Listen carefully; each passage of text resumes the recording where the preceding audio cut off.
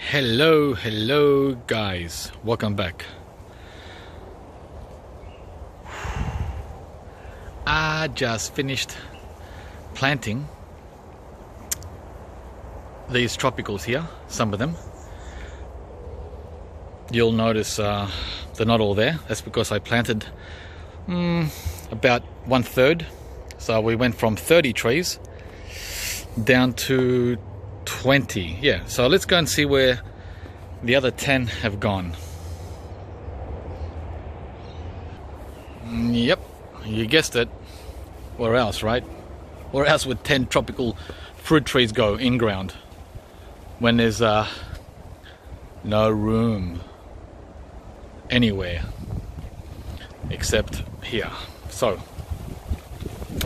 I uh, did it in a two stage um, job.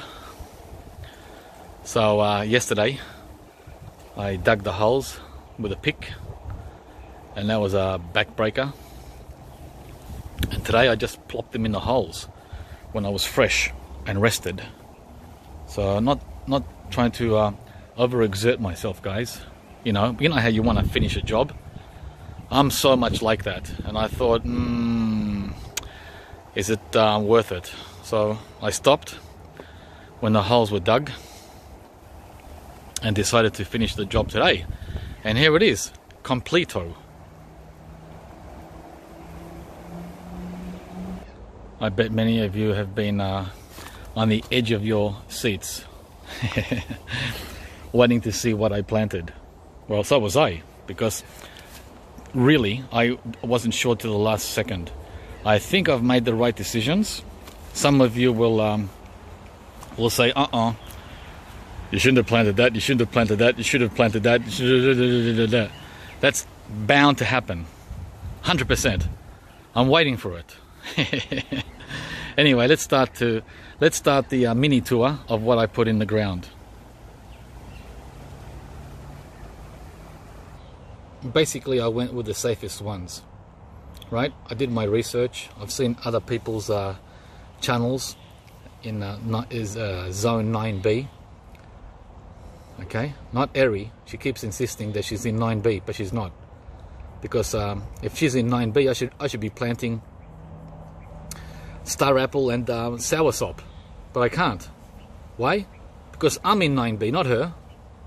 Simple as that guys. So uh, I put in uh, longan, chompu, grafted. This guy I had in the uh, in the uh, greenhouse all winter, and he came through like a champ, as you can see here with the with the flowers. So he made winter. He's flowering. You know what that means, don't you? He's ready to go in the ground in uh, zone nine B, or probably Zone 9A as well. Possibly Zone 8B, where Thomas is, with some protection. So that's the first tree. And this one gets the most sun. Okay, another thing I need to tell you guys is uh, I have uh, a big tree. It's not mine. It's the neighbor's neighbor. Neighbor's neighbor pine tree right? And that's where the sun comes out in the morning, right here at 6 a.m., right there. And then by 10, it's there. And now that it's 11 a.m., where is it? Where are you?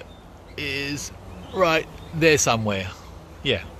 So at 11 a.m., 11:30,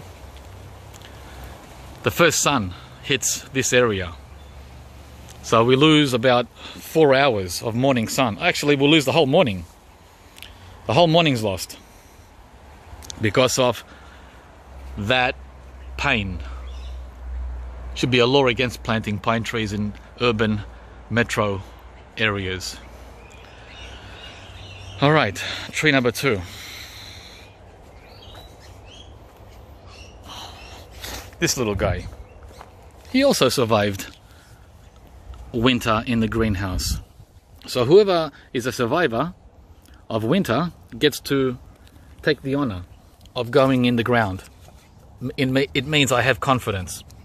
This is the uh, the Poshti custard apple atemoya. There's his old leaves from last summer. Still hold it, holding onto them. How many are there? Three, four, five. He's got five leaves from last year.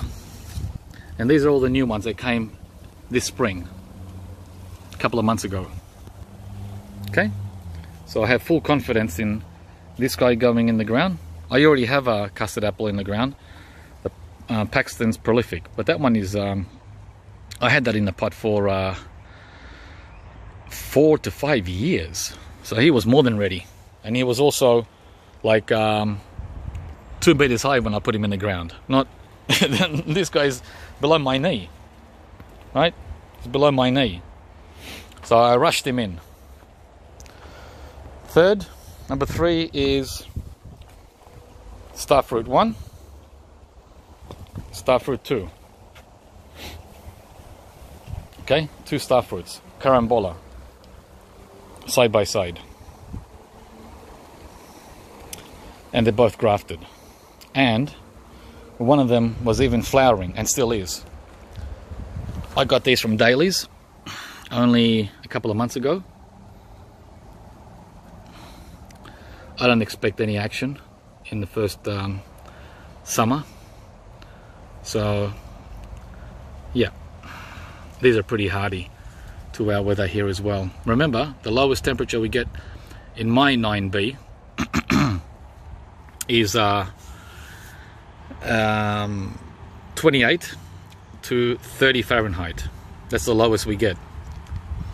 But that happens like every other year. Normally, the lowest is 32 to 34. The normal lowest. So not a problem. So two star fruits. Next, this guy. You recognize it from the leaves. I got two of these, and now they're both in the ground. The other one is underneath the tamarind, the native tamarind. And I just picked this up as well from Daley's about three months ago. And it's the uh, the green sapote seedling. Full confidence in this guy. Um, doing well in ground. Not a problem. Next is the dwarf Nagasaki Wase loquat. And of course, this is the toughest out of the whole group. Not a problem whatsoever. Nada. This guy can go down to 20, you know, low, the low 20s, 24, 25 um, Fahrenheit. I'm doing Fahrenheit because uh, many of the people who are watching and commenting are in America very, very few Aussies um, that are active on the channel recently. So I'm going to stick to uh, Fahrenheit. well, I'll give some Celsius too. So anyway, that one's the, the easiest out of the lot. Next, another easy one. This is a dwarf as well. A dwarf macadamia that's the um, A16 from a cutting. To complement the um, 10 year old seedling that I have which um, isn't doing much. Let's see what this guy does. It'll be interesting to see the difference with a 10 year old and a 1 year old macadamia. So far so good guys right you're all in agreement with what I've planted. We, have, we I left the, the hard ones till, till the end. Next is this little guy. This is a very slow grower. Extremely slow here where I am. Some of you have had a lot of luck with Sapodilla in the first year and the second year. Guess what? I've had this guy for five years and he's only at my knee. Knee high. Five years in a pot. Can you believe it? That's my 9B. That's my 9B. My 9B is completely different to your 9B. Okay? Next um, is this guy. Now this one will be a, a slight challenge and so will that one, the last one. And the reason why these two will be a challenge is because they're sensitive to frost more than all the rest of them. Right? But guys, I'm gonna take a gamble. And there's two reasons why I'm taking a gamble with these last ones. It's because they both survived our winter in the greenhouse like champions, right? They're in their third year. That one is possibly in its fourth year, third or fourth. That's the Rollinia, by the way. Okay, look at look at the trunk. Look at that. It's um, thicker than my thumb. Here's the thickest out of all the trees I've planted here in this new bed. And this one, in case you didn't recognize it, is the Canistel seedling. And uh, I believe the Rollinia is a seedling too, yeah. So the Rollinia is a seedling, this is a seedling. The um, Sapodilla there is a seedling. And you know what what seedlings, what advantage there are with seedlings, right? Over grafted in um, sensitive climates. Well, I'm not going to go through that. You should know. So, there they are. And uh, in between all this, I put in a couple of bananas. Right? A couple of uh, taro and a couple of um, passion fruit. I decided to put a second passion fruit to complement the um, um, the sweetheart. The sweetheart is grafted, which some of you know could be a problem with um, runners and uh, I planted a non-grafted variety from Bunnings. Bunnings is Australia's Home Depot. It's um, a black from Nellie Kelly. So, and he's already taken off. Wow, cool. So guys, two passion fruit, two bananas, uh, um, Jeez. Uh, blue Java. The so-called ice cream banana. The first one I've ever had. Got it from Daley's. And the Grand Nain. I believe is this one. An offshoot of the Cavendish. Which I'm not familiar with it. I know the well, we all know the Cavendish, but I don't know this one. So and the taros, Pacific taro, which I had in pots for the last couple of months, and they did well, but it was time to come out, come out, come out, and start growing. So the dilemma is um, there's a few of them. Lack of sunshine in the morning for this whole area. The sun comes at noon between 11.30 and 12 in summer. We're talking not winter. I don't know what's going to happen in winter because of that tree there this nightmare.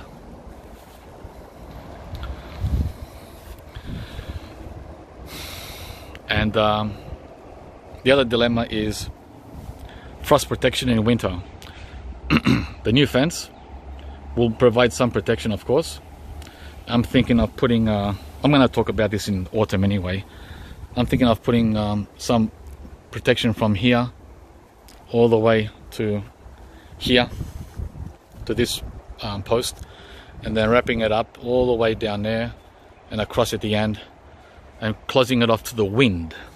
Just the wind not to um, frost but to wind. Cold wind is um, nasty, especially for six months. Remember, we get nasty weather here from um, late April to um, late September, um, early October. Yeah, nasty.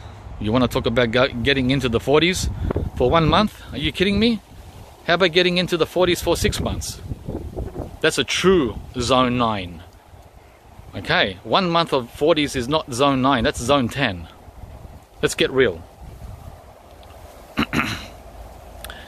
so, um, what else? That's about it. And to wrap it up, I still have, um, oh yeah, this dilemma as well. Dilemma number three. And that is um, dealing with these um, X hedge um, roots. I've tried, guys. I've tried. I've tried. It won't come. It won't come. But I wasn't going to hold back for the whole summer and lose precious time not being able to get these guys out. See that one under the fence? He won't budge. He's lodged. And that one there. Lodged, not budging. Crowbar, you name it. I've tried everything. The only thing that will help will be those uh, saws. You know those, I forget the name of them, but it's a sideways saw that can cut into there. But it won't get rid of it. It'll just make it shorter. You know, cut it evenly at the fence but it'll still be alive on the other side of the fence. It's not the end of the problem, it just removes this side, right? That's all. And there's that one too. So I've got about three or four along the fence. This one looks like it's dying, or did I kill it? Yeah.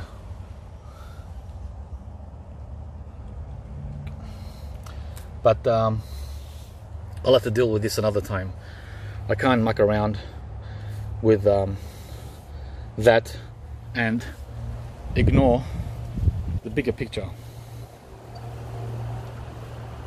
And in closing, um, this whole area gets uh, late afternoon sun, which the rest of the garden doesn't.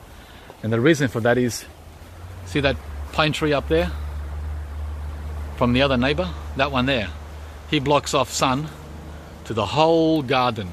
The whole, the whole garden. The whole garden um, ceases to get sun at around uh, 4 to 5 p.m. Yep, 4 to 5 p.m. it's all over. But this area here does not cease to get sun. It gets sun all the way till um, 7 p.m. Yeah, so it gets around two or three hours of late sun, which the rest of the garden does not get. So that sort of, kinda, um, balances the lack of sunshine in here in the morning. Kinda. Now we're talking summer sun. I don't know what's going to happen in winter.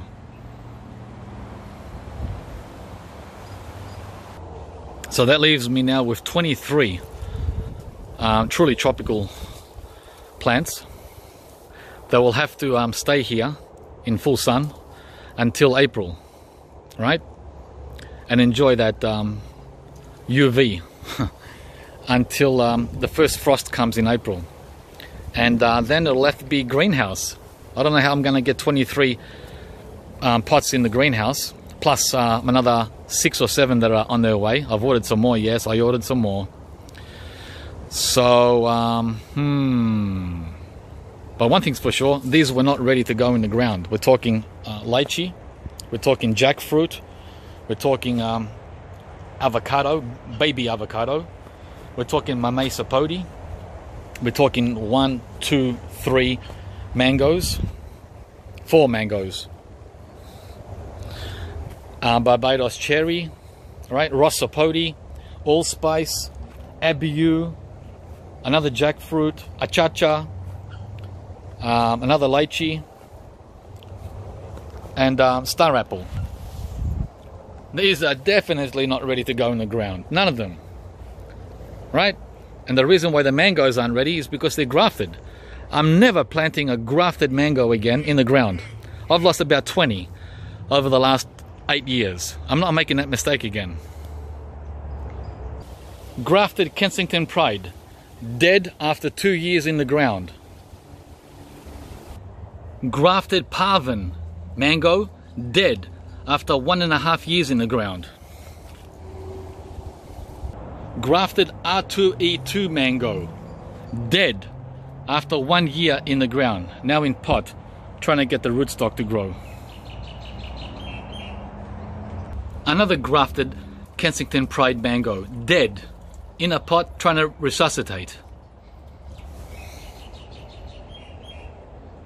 Another dead grafted Kensington Pride mango, growing back from the rootstock.